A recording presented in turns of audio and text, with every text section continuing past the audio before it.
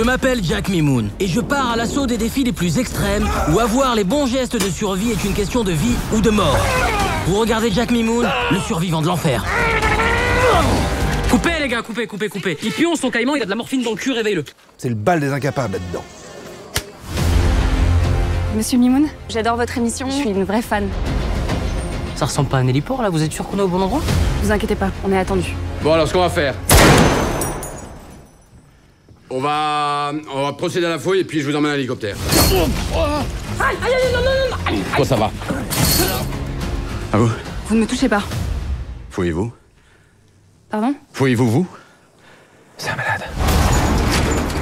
On va pas monter là-dedans. Il a fait six guerres, cet hélico, d'accord Toute ma vie, j'ai rêvé de croiser la route d'un homme comme vous. Vous êtes un aventurier. Y a 20 ans, mon père s'est envolé pour une destination inconnue. Et depuis, il a plus donné aucun signe de vie. Attention C'est pas lui que je cherche.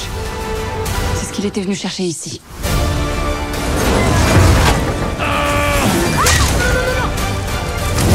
On a vécu suffisamment de belles choses. Plus d'aventures, ce serait la gourmandise. C'est un cauchemar, je vais me réveiller. Ah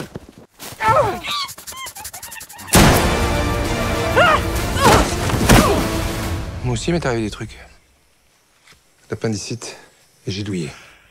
Vous n'étiez pas couvert par une mutuelle?